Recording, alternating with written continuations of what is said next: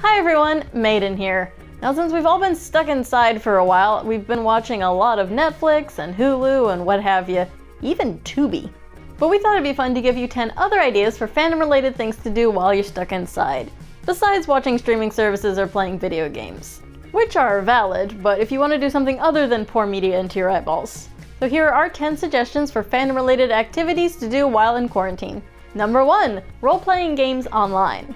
Play D&D or any number of role-playing games through Zoom, Facebook, Google Hangouts, or carrier pigeons. As long as everyone has dice, you can roll up characters and go on adventures. And if you don't have any dice, there are actually a bunch of websites where you can roll virtual dice. Start a campaign, socialize online, and kill some orcs. Number two, learn a fictional language. Sure, you could learn a real language and that might be useful. Or you can learn Klingon, Gallifreyan, Kryptonian, or any number of made up languages. Why learn something useful when you can learn something cool and nerdy? Number three, clean and organize your collectibles. That could be hours of fun, picking up each piece, checking it out, cleaning it off, and maybe reorganizing it in a new cool way. Unless you end up playing with them, which is also good. Number four, work on a cosplay. Sure, we can't go to cons right now, but we can prepare.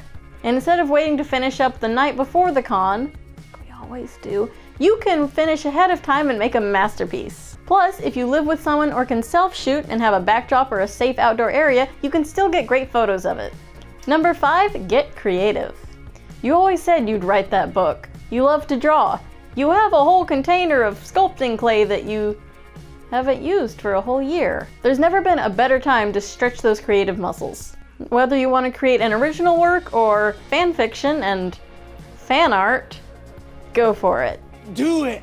Number six, online board games. There are loads of online board games. You can play Cards Against Humanity, Scrabble, Mad Libs. It's a great way to get social and on occasion find out how twisted your friends' minds are. Number seven, Reading. There are tons of great authors to check out. You could start a series from David Weber, Harry Turtledove, Karen Miller, David Eddings. There's a lot. Plus, there's a ton of Star Wars novels, there's Star Trek novels, there's Star Wars novels, there's more Star Wars novels over here. Did I mention there's Star Wars novels? You can also check out audiobooks. Click the link in the description to start a free one month trial of Audible where you can find books for every fandom. I'm currently listening to Timothy Zahn's Thrawn series.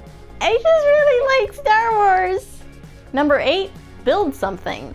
A model kit, a Lego set. You can build some incredible Gundam Wing models, spaceships, or the DeLorean. It'll occupy a lot of time and it'll give you something to post on Instagram to show you're having fun. Number nine, attend a virtual Comic-Con. While we can't exactly put on a costume or go to a convention hall, you can watch virtual panels from places like Wizard World Virtual Experiences and HomeCon. And AwesomeCon and Virtual Fan Expo will have even more in May.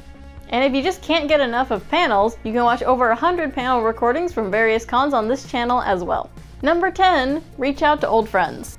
When was the last time you messaged those cosplayers you met at an out-of-state con two years ago and promised you'd stay in touch with? But we just didn't have the time. Well, now we have the time. We have all the time. So reach out to and check on friends that you haven't talked to in a while. Now this isn't an exclusively fandom thing to do, but it's a good thing to do. Be nice to your fellow nerds. And that's our list. Now, do you have any suggestions for non-media consumption activities to do to celebrate your fandom? Let us know in the comments and tell us if you're doing any of these. We hope everyone is staying safe. If you do want to consume more media, there's a ton of videos over here. Can subscribe down there. Be sure to hit that notification bell so you know when we make new videos. Follow us on Facebook, Twitter, and Instagram. Check out our website at fandomspotlite.com and uh, follow your fandom.